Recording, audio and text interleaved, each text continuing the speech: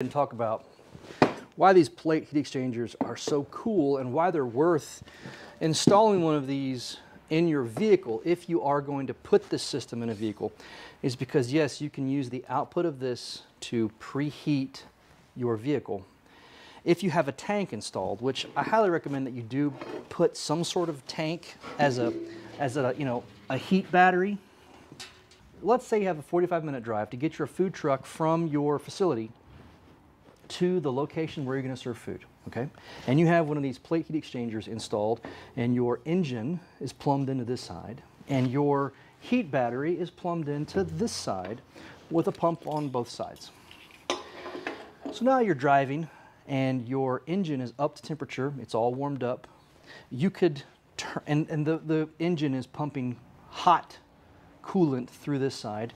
You could then turn this pump on, reach back and flip that puppy on, and now you are pumping the cool liquid from your tank through the heat exchanger, and you're pulling heat from the engine, excess heat that the engine has to use the radiator up front of your car to cool. You're pulling that heat and you're putting it in here.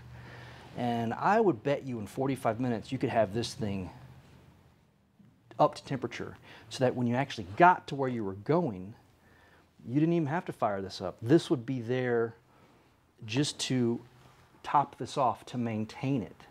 So while you're cooking, washing hands, doing your thing, this is slowly circulating water through it. It, it detects a drop in temperature. So, oh, we're losing temperature in the main tank. Let me, let me fire up and heat it up again and bring it back up. That's kind of what you'd want, but you could use a plate heat exchanger as you're driving to your location to actually bring this up to temperature. I think that's a really cool idea, and that's what I want to do